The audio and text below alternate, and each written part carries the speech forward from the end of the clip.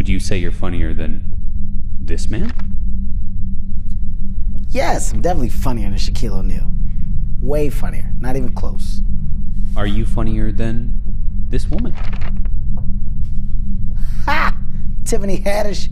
Yes! Beat it, Tiffany. Way funnier than you.